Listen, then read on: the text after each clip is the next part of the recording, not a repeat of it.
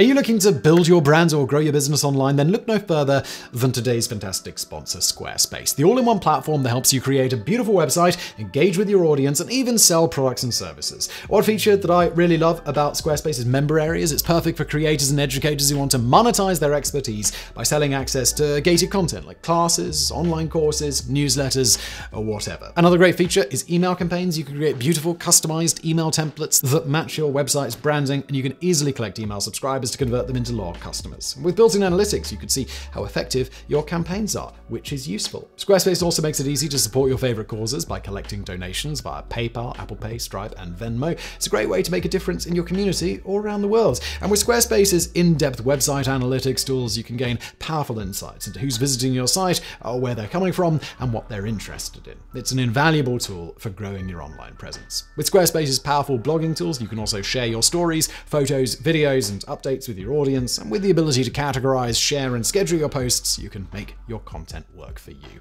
And last but not least, Squarespace's social media integrations allow you to display your social media posts on your website and automatically push your website content to your favorite social media channels. It's a great way to keep your followers engaged. So what are you waiting for? Head to squarespace.com and start your free trial today. And when you're ready to launch, don't forget to use my promo code BRAINFOOD at squarespace.com slash brainfood to save 10% off your first purchase of a website or a domain. And now, today's video.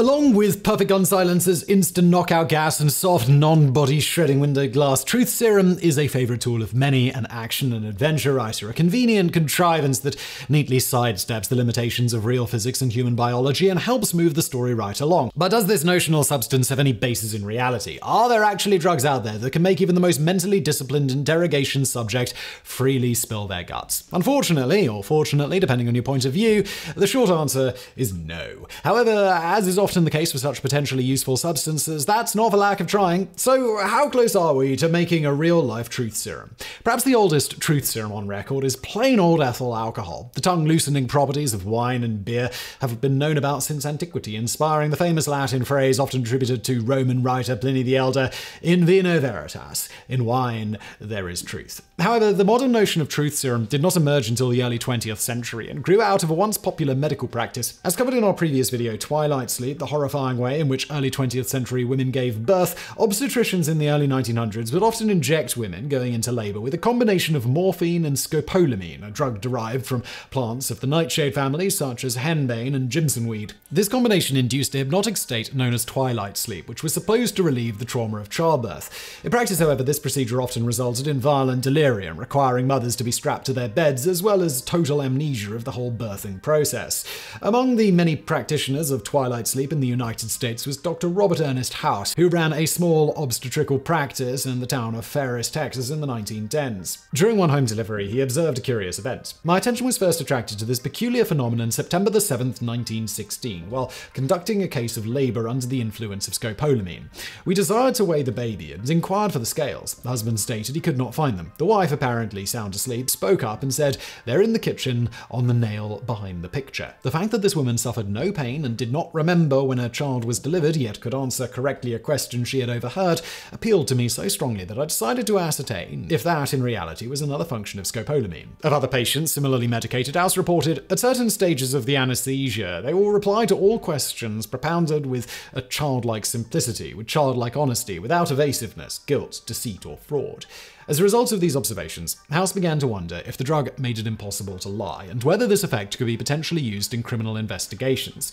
Interestingly, House did not propose using scopolamine to prove someone's guilt, the use with which we commonly associate truth serum today, but instead to confirm their innocence. To this end, he arranged to administer the drug to a group of prisoners in the Dallas County Jail, figuring that as these men were already incarcerated, they had nothing left to hide. As a result of House's interviews, two prisoners were found to have seemingly been falsely convicted and were eventually eventually acquitted and released. Throughout the 1920s, the use of scopolamine in criminal investigations spread across the United States, playing a key role in a number of high profile cases, including a 1919 string of axe murders in Birmingham, Alabama, and a 1931 securities heist in Chicago.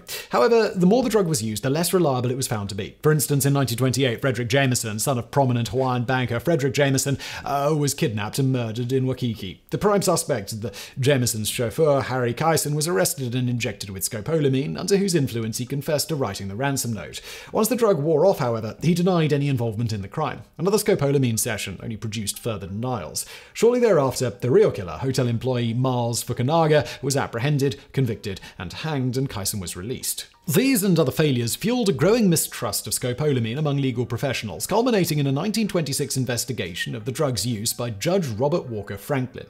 When questioned on how his alleged truth serum actually worked, Robert House, who was neither a psychologist nor a pharmacologist, explained that the auditory nerve sends a question to that part of the brain where the answer is stored for future use, and the brain sends the answer to the nerve of the tongue. Oh, when a person is asked his name, his willpower can prevent the tongue from articulating the name, and the power of reason can also make the tongue tell a lie, but oh, when the willpower and the power to reason are removed, the replies are automatic. In response to this confusing and fanciful answer, Judge Franklin dismissed the utility of scopolamine outright, castigating House and its advocates as credulous folk who believe in the magic powers of philters, potions, and cures by faith. I mean, tell us how you really feel, Judge. Despite this, scopolamine continued to be used by a handful of American police departments well into the 1930s. Indeed, the mere threat of being interrogated under its influence was enough to get many suspects to confess. By the end of the decade, however, scopolamine had fallen out of favor due to its unpleasant side effects, including a painfully dry mouth and hallucinations, and was largely replaced by barbiturate sedatives like sodium amytal and sodium thiopental.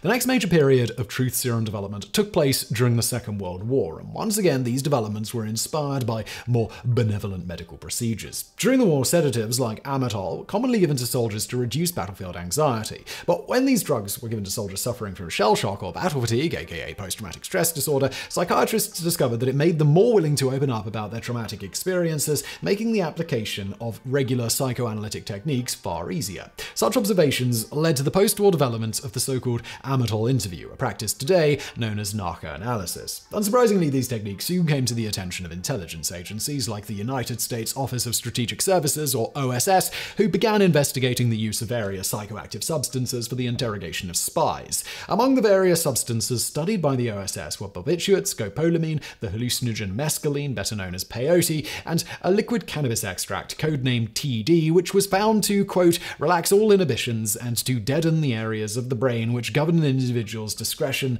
and caution. The sense of humor is accentuated to the point where any statement or situation can become extremely funny to the subject. In 1943, OSS narcotics agent George H. White decided to field test TD on one August Little Augie Del Gracio, a New York drug kingpin with connections to the infamous mob boss Charles Lucky Luciano. During their meeting, White offered cigarettes laced with TD to Del Gracio, who proceeded to get as high as a kite and spill his guts, revealing the full extent and organization of his drug trafficking network.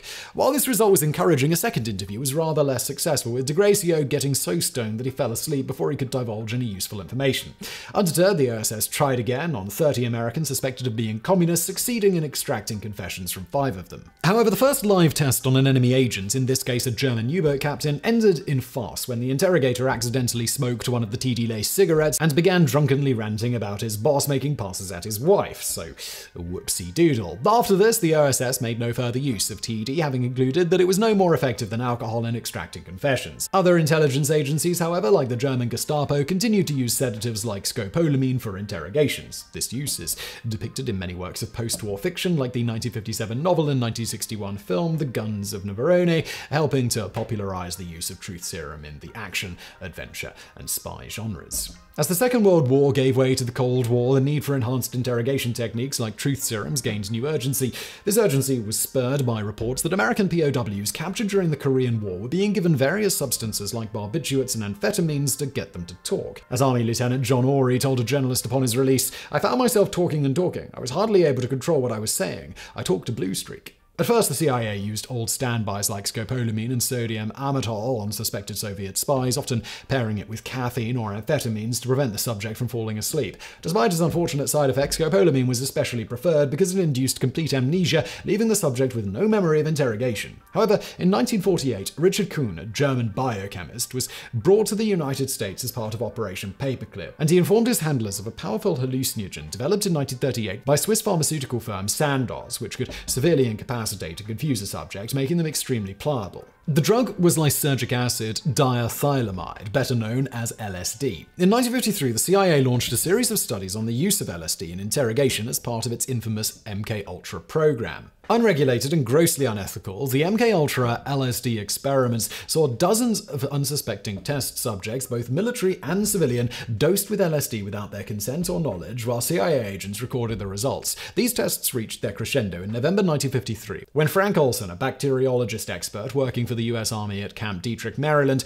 was secretly dosed with LSD by Sidney Gottlieb, head of the MK Ultra program. Olson, disturbed and disaffected by his work on biological weapons, had become increasingly paranoid and agitated and had threatened several times to quit his job. Following his dosing, this paranoia grew ever more severe until in the early morning hours of November 28, 1953, Olson plummeted from the 10th story of the New York City Statler Hilton Hotel, dying shortly after impact. The exact circumstances of Olson's death remain a mystery to this day, with some believing he committed suicide and others alleging he was murdered to prevent him from blowing the whistle on MK Ultra. And he was not the only victim of the shadowy program. Eleven months earlier, on January 8, 1953, American tennis player Harold Blauer was injected with the psychedelic drug methylenedioxyamphetamine, or MDA, while undergoing treatment for depression at the New York State Psychiatric Institute. The injection triggered a violent epileptic seizure that killed Blauer within minutes. Dozens more unsuspecting victims would have had their mental health irreversibly damaged by the psychic driving experiments of British psychiatrist Ewen Cameron, who used large doses of sedative drugs and electroconvulsive therapy to brainwash and reshape his patients, but well, that's a story for another video. Yet despite shattering so many lives and the American public's trust in the government, MK Ultra accomplished very little of real value. Like all earlier truth serums, LSD proved only marginally useful as an interrogation tool. More often than not, the drug produced such powerful hallucinations and delusions that the subject disappeared into fantasy, babbling incoherently and divulging no useful information. Indeed, this is a problem common to all supposed truth serums. At a psychological level, sedatives like sodium amytal reduce the speed at which the brain receives signals from the rest of the body. In theory, this makes performing high level cognitive tasks more difficult, making it harder for a subject to concentrate and think up a lie. Many of these drugs also induce complete amnesia, preventing the subject from recognizing that they're being or have been interrogated. For this reason, scopolamine is sometimes used as a date rape drug or to assist in robberies. The latter is a particularly common practice in Colombia where thieves will dose a mark with scopolamine either by slipping it into their drink or blowing it into their face, then make the now drugged and pliable victim empty their bank account. The effects of hypnotic drugs, especially in the context of psychiatric narcoanalysis, were described as followed by psychologists William Sargent and Eliot Slater in 1944. It is commonplace that under the influence of alcohol, a man reveals tendencies that remain hidden in everyday life and may become suggestible, obstinate, euphoric, or boastful. Tongues are loosened by drink, critical judgment is suspended, and secret aspirations, damaging confessions, and dramatic falsifications of previous events come pouring out. Psychiatry has taken a trick and turned it into a technique. But what is now sometimes graced with the high sounding title of narcoanalysis is no more than the method employed from time immemorial by the colonel in the mess to discover the qualities of the newest subaltern. Instead of alcohol, whose effects take some time to produce, are unreliable and difficult to control, we now employ a barbiturate to which those objections do not apply. But the effects are much the same. Both in the normal, the neurotic, and the psychotic, the drug abolishes inhibitions and allows underlying thought processes and preoccupations to appear. In addition, if there is much associated anxiety, this is partly at least abolished. Under the influence of a suitable dose, the retarded depressive may become free, able to talk, and even cheerful. There is reduction of the critical sense, an enhancement of rapport, and often a pouring out of both truth and fantasy equally. Aggressive feelings, which uh, would terrify the individual in his normal state, can be expressed without excessive anxiety, and the emotional experiences of the past can be lived anew without disturbances of the autonomic equilibrium. Indeed, under certain circumstances, these drugs can work exactly as intended.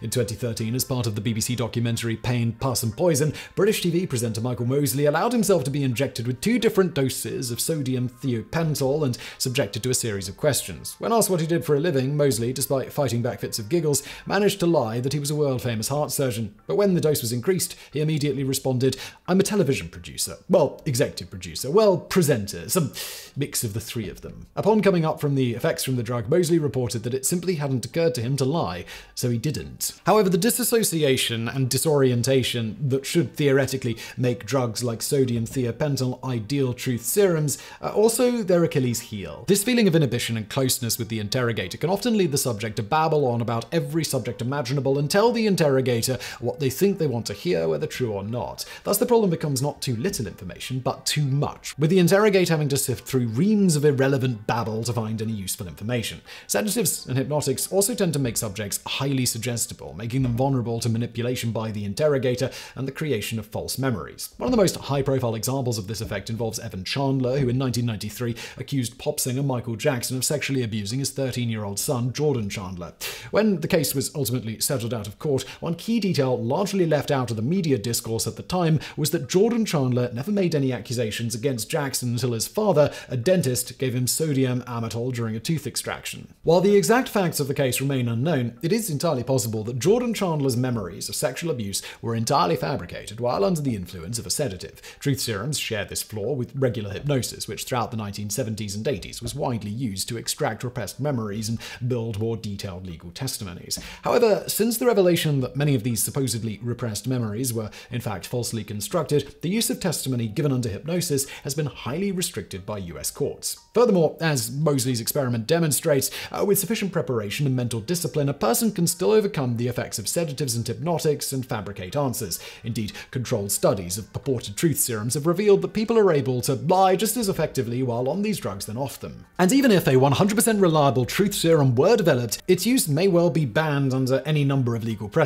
For example, in 1963, the US Supreme Court ruled that testimony obtained via truth serum violated the Fifth Amendment right against self incrimination and was thus constitutionally inadmissible in court. Prior to this, very few convictions had ever been obtained with the help of psychoactive drugs, perhaps the highest profile being that of Raymond Cartier, who was executed in San Diego in 1960 after being convicted of killing his wife in a drunken rage. Internationally, truth serum may also be a violation of one's right to freedom from degrading treatment under the European Convention on Human Rights and a violation of the Inter American Convention to Prevent and Punish Torture. But such legal rulings have done little to stop some pushing for a truth serum renaissance. Following the 9 11 attacks, for example, former CIA and FBI Director William Webster suggested using drugs like sodium thiopental to extract information from suspected terrorists. Since the Geneva Convention bans the use of such techniques on prisoners of war, the Bush administration pushed to have terrorists classified as illegal combatants and not POWs, freeing them from this restriction. On the civilian side of things, in 2013, Colorado Judge William Sylvester approved the use of truth serum in the interrogation of James Holmes, who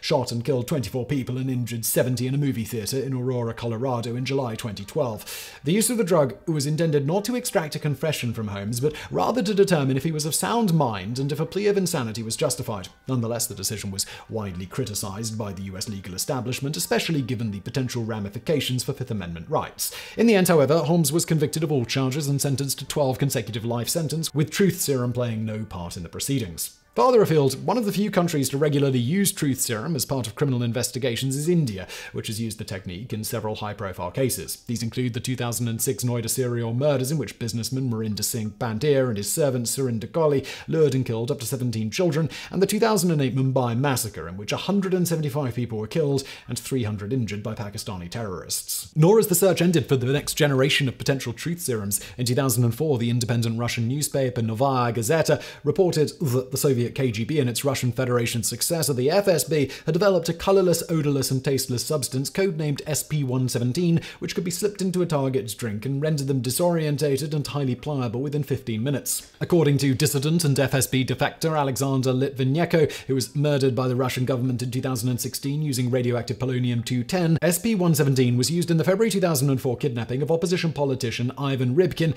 in which he was drugged, abducted for four days, and blackmailed with an incriminating sex tape. While the exact formulation of SP-117 has never been revealed, another potential candidate for the next generation of truth serums is oxytocin, the so-called love hormone often given to expectant mothers to induce labor or promote lactation. As oxytocin is known to promote trust and bonding between humans, in 2005, a team from the University of Zurich, led by Michael Kosfeld, conducted experiments to determine the strength of this chemically induced bond. Participants were made to play a game in which they had to trust their opponents to transfer back a portion of their winnings. One group of participants was given oxytocin oxytocin, while the other was given a placebo. As expected, the participants given oxytocin were more trusting and transferred more of their winnings than the control group, with 45% transferring all of their winnings. This suggests that oxytocin might potentially be useful in interrogations by building a sense of trust between the subject and the interrogator. But for now, the dream of a perfect truth serum remains that a dream. As Gordon H. Barland, a former captain in the US Army Combat Development Command's intelligence agency in the 1960s and an expert on interrogation, states, I would have expected that if there was some sort of truth drug in general use, I would have heard rumors of it. I never did.